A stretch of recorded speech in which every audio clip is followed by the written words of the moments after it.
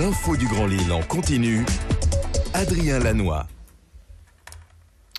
Mercredi 23 novembre, bonjour à toutes et à tous, bienvenue en direct sur Grand Lille TV, il est 7h30 et comme à, chaque fois on, démarre cette édition par euh, les prévisions météo avec dans l'ensemble une matinée nuageuse et, pluvieuse. Voyez sur l'animation satellite cette perturbation qui va donc encore nous amener des nuages ce matin et même pas mal d'averses pour démarrer la journée.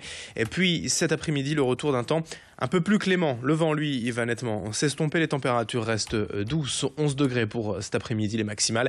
Et puis on espère vraiment le retour de belles éclaircies de soleil. L'info trafic également à la une, en direct et en temps réel, avec euh, la carte de l'agglomération, les ralentissements habituels, hein, évidemment, sur la 25, la RN41, la 1, la rocade nord-ouest. Soyez prudents au volant, restez fidèles à Grand Lille TV. L'infotrafic revient, vous le savez, juste après ce journal d'ici 8 minutes. L'information principale, bien sûr, à la une de l'actualité, c'est donc l'éviction de l'entraîneur du LOSC, Frédéric Antonetti. Le technicien corse paye le début de saison catastrophique du club, coincé à l'avant-dernière place de la Ligue 1 après 13 journées. entre les résultats sportifs décevants et l'offre de rachat qui tarde à se concrétiser, la saison lilloise tourne de plus en plus au, au fiasco. Lundi soir sur France Bleu Nord, le président Michel Sédou avait déjà secoué les joueurs en estimant qu'ils jouaient comme des chèvres. Le suivant a payé a donc été l'entraîneur. Frédéric Antonetti venait pourtant il y a quelques semaines tout juste de prolonger son contrat avec le LOSC jusqu'en 2020. Patrick Collot va assurer l'intérim en attendant la nomination d'un prochain entraîneur qui ne devrait pas arriver avant mi-décembre et le rachat du club qui y sera entériné, on l'espère. Écoutez en tout cas les explications de notre consultant Guillaume Manderchak, rédacteur en chef de Sprint Magazine, que nous avons joint hier par téléphone. Il a été, semble-t-il, démis de ses fonctions. Alors en cause, forcément, hein, euh, le bilan euh, calamiteux du début de saison avec seulement trois petites victoires en 13 matchs de championnat. En cause également plusieurs bruits de couloir de différentes sources qui confirment que le torchon brûlait entre lui et certains joueurs euh, de l'équipe, hein, l'ambiance dans le vestiaire qui n'était pas bonne. Et puis enfin, comme souvent dans ces cas-là, hein, quand on annonce le rachat d'un club, quand il y a un repreneur, eh bien le premier maillon à sauter si les résultats ne sont pas bons, c'est bien souvent l'entraîneur. Et le technicien corse en a fait les frais. Il avait réussi à remonter une situation pourtant compliquée. Il avait amené le LOSC dans le top 5 de la Ligue 1 à l'issue de la saison dernière. Mais là, le début de saison a été vraiment désastreux. Et Frédéric Antonetti et le LOSC, c'est donc terminé. Alors forcément, c'est notre euh, question du jour direct matin Grand Lille TV. Estimez-vous que euh, le licenciement de Frédéric Antonetti, il mérite-t-il justement d'être fait aussi rapidement après 13 journées? Ce licenciement est-il justifié selon vous? Vos réponses sur grandlille.tv ou nos applications mobiles. Autre image, autre info ce matin, le nouvel accueil numérique de la préfecture du Nord à Lille. Un système unique en France permettant aux usagers d'effectuer toutes les démarches administratives par Internet et depuis le hall de la préfecture. Ce point d'accueil numérique comprend en tout quatre ordinateurs deux personnes en service civique pour aider les usagers. L'idée, c'est d'éviter les longues heures d'attente inévitables à la préfecture pour les cartes grises, les permis de conduire ou les titres de séjour.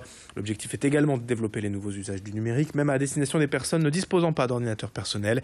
Explication complémentaire au micro d'Idil Gunay plan va euh, euh, essentiellement euh, développer les nouveaux usages du numérique et les téléprocédures, donc les procédures dématérialisées en matière de permis de conduire, de carte nationale d'identité ou bien de passeport. L'idée est d'amorcer cette, cette, nouvelle génération de préfectures en initiant un point d'accueil numérique qui permet aux usagers de prendre connaissance et de se familiariser avec les outils numériques de l'administration française. Une des premières a été effectivement euh, euh, lancée euh, dans, le Nord, la préfecture du Nord. nous avons des collègues également à la préfecture de la Réunion qui ont initié la même opération et ont créé un point d'accueil numérique. 7h34 en direct, l'info en bref. Fait également attention à l'épidémie de bronchiolite dans la région. Les Hauts-de-France sont aujourd'hui particulièrement touchés par cette infection respiratoire concernant surtout les enfants de moins de 2 ans. Déjà 39 cas pour 100 000 habitants recensés ces dernières semaines selon l'IRSAN. Hier, à Roubaix, la CAF est restée fermée toute la journée pour cause de grève de ses agents. Une action qui s'inscrit dans un mouvement national visant à dénoncer la réorganisation des services, mais aussi la suppression de l'accueil physique du public. Et puis sachez que François Hollande est en visite aujourd'hui dans la région. Le président de la République doit se rendre à Arc, près de Saint-Omer, pour visiter le site du groupe Verrier à Arc. Il ira notamment voir la chaîne de production de l'entreprise.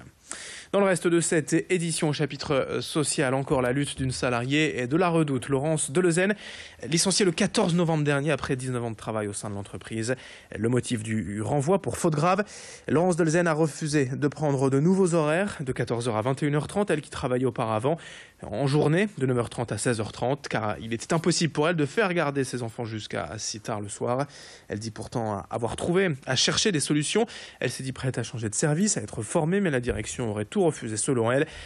Elle a donc euh, enclenché une affaire euh, devant les prud'hommes en dénonçant un licenciement abusif. Écoutez ses explications recueillies par Idil Gunay. Je me trouve euh, très, très désabusée par rapport à ce qui se passe. Je ne comprends pas. Ça fait bientôt 20 ans que je suis dans cette entreprise. J'ai rien sur mon dossier qui permettrait de de me licencier, à part euh, cette, euh, ben, euh, cette contrariété vis-à-vis des, horaires. Enfin, je comprends pas, j'ai du mal à, suivre leur, leur idée, je sais pas ce qu'on me reproche, je ne les comprends pas. Et puis pour finir ce journal, ces images du chariot de supermarché du futur. Il, existe déjà du côté d'Auchan Anglo un robot qui vous suit à la trace dans les rayons du magasin grâce à la reconnaissance faciale. Depuis lundi, les personnes à mobilité réduite peuvent bénéficier de ce service baptisé Wigo. Le chariot est programmé pour suivre le client à une distance d'un mètre cinquante. Une fois sa mission terminée, elle se recharge simplement sur une prise électrique. Il a une autonomie de 4 heures environ. Pour l'instant et pour un mois, le système est gratuit en phase de test ici à Anglo. Les réactions des clients seront ensuite analysées afin de pouvoir améliorer ce service pour le moins innovant et qui a suscité la curiosité depuis deux jours. Explication en détail au micro de Vincent Vieillard. Tout le monde est déjà un peu curieux, voilà, pour essayer tout ce qui est technologique.